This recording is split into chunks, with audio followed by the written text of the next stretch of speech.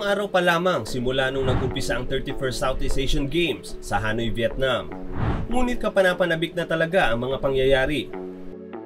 Mula sa antisipasyon sa basketball at volleyball, kahindik-hindik din ang pag-aabang ng iba pang kompetisyon.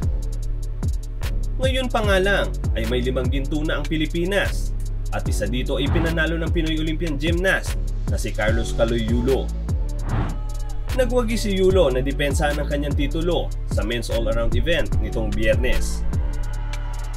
Nagtala siya ng total na 85.150 puntos sa anim na aparatos para maitagumpay ang laban at manatili sa Pilipinas ang kampyonato.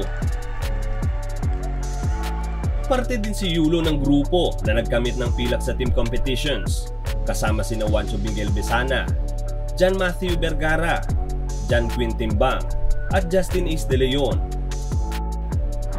Kahit na nagkamit na ito ng ginto, self-improvement pa rin ang hiling ni Yulo para sa mga susunod pa niyang laban.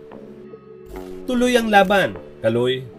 Kung nagustuhan mo ang video na ito, huwag kalimutan mag-like, subscribe, at hit ng notification bell sa spin.ph para lagi kang updated sa latest sa mundo ng basketball at iba pang sports.